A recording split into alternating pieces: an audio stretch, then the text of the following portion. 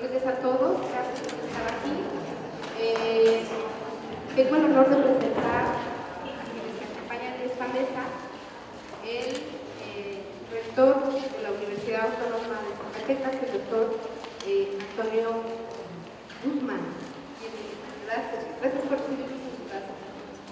Está también con nosotros el presidente municipal de Fresnillo, el licenciado Saúl Monterrey. Se encuentra también con nosotros el doctor eh, Rubén Ibarra, perdón, eh, quien es el secretario general de la universidad. Está también con nosotros el doctor Ángel Román, coordinador de vinculación de la universidad. Se encuentra también con nosotros el doctor Martín de Jesús Canizales, quien es el director de la Unidad Académica de Historia. Gracias, doctor. Y la doctora Juana Elizabeth Salas, directora responsable de la licenciatura en Historia. Y bueno, les agradecemos su presencia. Eh, voy a dar una pequeña eh, reseña de qué, estamos haciendo hoy aquí. Queremos darles a conocer una primera actividad que estamos realizando en el municipio de Fresnillo a través del Instituto Municipal de Cultura con la Universidad Autónoma de Zacatecas, en este caso en específico con la Unidad Académica de Historia, en donde eh, estamos trabajando un convenio de colaboración para realizar estas actividades y en este caso presentamos a ustedes el programa del primer eh, coloquio de Historia del Arte de Fresnillo, que bueno, se habían realizado algunas actividades de buscar de la historia, pero propiamente de la historia del arte no, y hemos, eh, con, hemos eh, invitado a un grupo de investigadores de más alto doctores en historia, en literatura, en música, para hablar de eh, pues toda la riqueza artística, arquitectónica, de patrimonio que tiene Fresnillo. Como saben, Fresnillo es una de grandes creadores.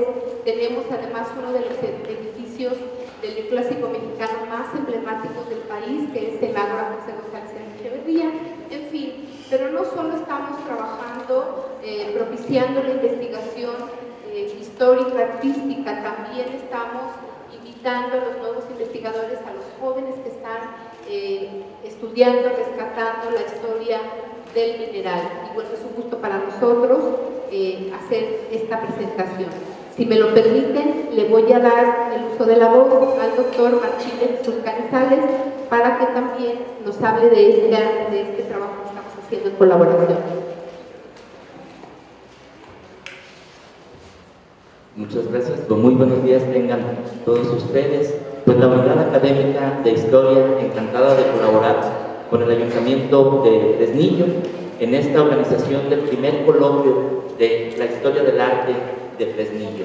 Ustedes podrán ver en el programa, está nutrido de diferentes temáticas desde la época prehispánica, pasando por eh, los diferentes edificios emblemáticos en el municipio de Fresnillo, pero también no podemos dejar de lado todos los elementos que identifican a Fresnillo como un productor de arte universal.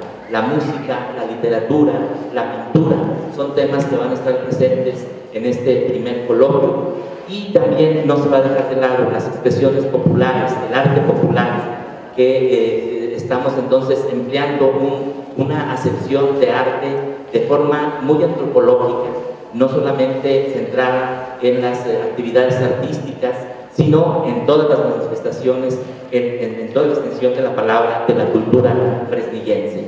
Considero que es una muy buena oportunidad para que propios y extraños reconozcamos estos valores artísticos que dotan de identidad a los fresnillenses, pero que nos enorgullecen como zacatecanos y que incluso, son valores también universales del arte, del arte de todo el mundo. Pues esperamos que sigan eh, este, esta serie de actividades, tanto el coloquio como las actividades que ya se vendrán anunciando y que se quedarán plasmadas en este convenio de colaboración entre la universidad a través de la Unidad Académica de Historia y el Ayuntamiento de Fresno. Muchas gracias. Muchísimas gracias, doctor. Y bueno, quiero pedirle al presidente municipal de Trujillo, Saúl Monreal, que dirija un mensaje. Muchas gracias, muy buenos días. Agradecer la compañía del rector, muchas gracias a verdad, cuando firmamos el convenio con la Universidad Autónoma de Zacatecas, le pedí a todas las personas, desde deporte, cultura, que sobre todo nos metiéramos, nos aplicáramos para aprovechar toda la experiencia, aprovechar toda la capacidad que tiene la Universidad Autónoma de Zacatecas para que Fresnillo se haga presente. Y hoy, en este primer coloquio de historia y arte de Fresnillo, es muy importante, porque hemos tenido artistas como Manuel M. Ponce, como Francisco Goitia, y que esta difusión, esta investigación, este análisis de la historia de Fresnillo va a ser muy importante para todos Zacatecas, para México, que yo agradezco, reconozco a la Unidad Académica de Historia, a la Rectoría, a toda la universidad en pleno, esta voluntad y esta disposición para llevar a cabo este tipo de actividades. Nosotros estamos trabajando fuerte para que en Fresnillo se difunda más la cultura, que se siente un precedente en materia cultural, como lo estamos haciendo en materia deportiva, y que esto, por supuesto que también es parte de la prevención del delito, es parte de la invitación y sobre todo de cómo resaltar nuestro municipio. Hoy yo celebro que este primer coloquio invito a los medios de comunicación que nos ayuden con la difusión, que esta importancia, este evento sea un éxito. A eso venimos, a informarles, a pedirles que nos ayuden a invitar a este primer coloquio. Y también quiero resaltar que de todas las ponencias, de todas las mesas, de las mesas se va a publicar un libro.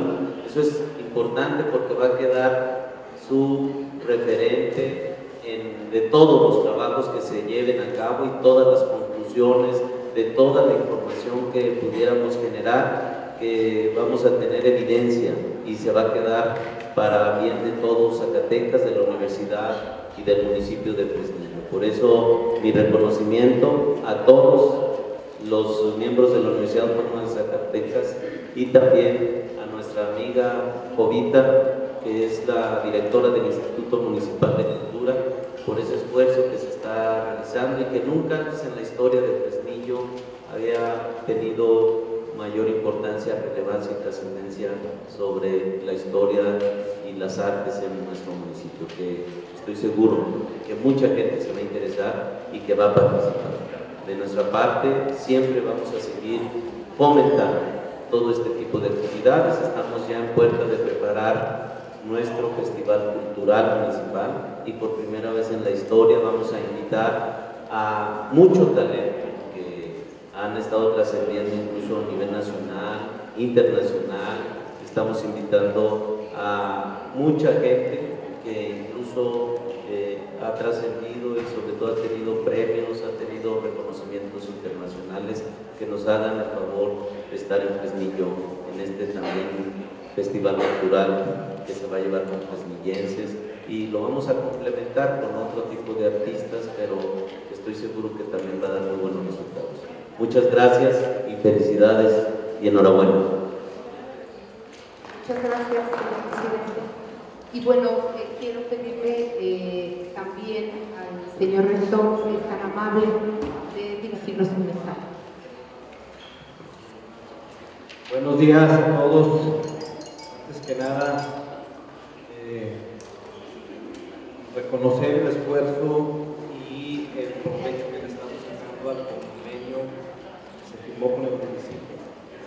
Creo que son de las experiencias que estamos trabajando de manera conjunta en los diferentes ámbitos y de manera integral poder incorporar a las actividades del mismo municipio a los campus que tenemos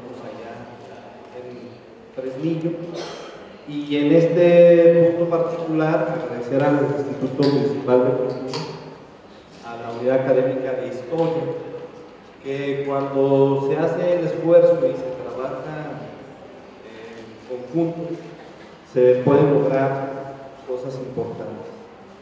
Y efectivamente así lo representa el primer coloquio de historia, un coloquio muy completo, muy integral, donde se van a llevar a cabo diferentes actividades, donde está la participación de la universidad y que es muestra pues, de lo que podemos trabajar de manera conjunta, llevando, eh, teniendo una sinergia y aprovechando las capacidades de cada, de cada institución.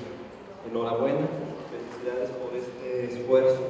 Creo que muchas cuestiones que estamos trabajando con el municipio de niños nos están abriendo la pauta para con otros y enhorabuena unidad académica de historia este, en su posicionamiento que tiene como escuela y muchas felicidades y Muchas gracias, doctor. Y bueno, eh, para comentarles que son 25 ponencias eh, divididas en siete temas. Eh, bueno, tenemos una conferencia inaugural con la doctora Laura García, quien es directora de la Unidad Académica de Estudios de las Humanidades. Tendremos una mesa Patrimonio y Arqueología, donde participan investigadores de INA y, e investigadores también de la universidad.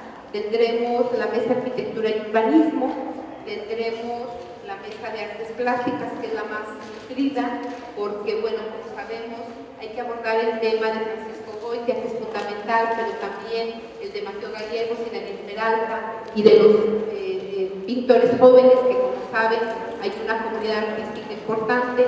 Eh, la, la música, por supuesto, está presente en este coloquio con temas que que van a rescatar a un músico que es muy poco conocido, salvo en los círculos muy especializados, que es Candelario Rivas, que fue un fresnillense, un músico muy importante y que bueno, se va a hablar de él. Eh, obviamente también Manuel M. Ponce no podría estar fuera de este programa, eh, la banda de música con la tradición del maestro eh, Chemita José María Vanegas, eh, por supuesto Tomás Méndez, que es un ícono de la música mexicana que orgullosamente es fresnillense, lo vamos a trabajar también. En la mesa de literatura vamos a destacar eh, un trabajo eh, también de los escritores más importantes y se va a hablar de uno de nuestros grandes personajes fresnillenses que fue don Antonio Núñez de Miranda, que fue guía espiritual de Sor Juana, que fue este, uno de los escritores de la primera parte de la época colonial de, la literatura hispana más importante. Y aquí quiero darles una primicia. Estamos trabajando un proyecto para hacer una publicación facsimilar de la, de la biografía de la vida de este personaje tan importante de Tres Niños.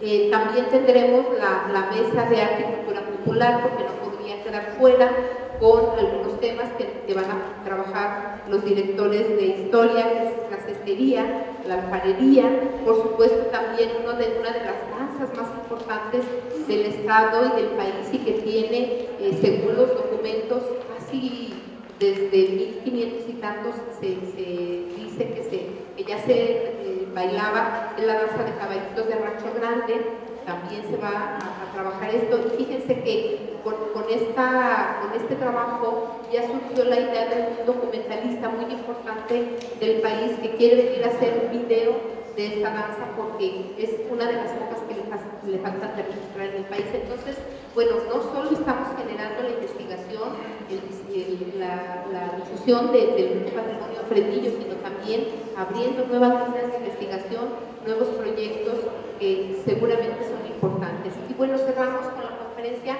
del doctor eh, Francisco Román, quien es director del Instituto del Patrimonio de la UNESCO. Él nos hablará del Camino Real de Tierra del donde Fresnillo tiene una parte fundamental. Planteros como sitio del Camino Real de Tierra Adentro es ícono de, eh, la, de la religiosidad popular, del arte popular. Es un trabajo que ya estamos haciendo y trabajando por ahí con los retablos, con los exvotos y bueno, el hablar de este proyecto también es fundamental. Nos sé si alguien tiene alguna pregunta y con gusto estamos aquí para responder. ¿Cuáles son los sitios donde están desarrollando las actividades que les van a generar estos? No son, perdón, son gratuitas, por supuesto, se realizará los días 14 y 15 de este mes, es decir, la próxima semana, en el edificio del Ágora José González Echeverría y tendremos, iniciamos a las 9 de la mañana con, la, eh, con el registro, con la inauguración 9 y media y seguimos ya con las mesas de trabajo.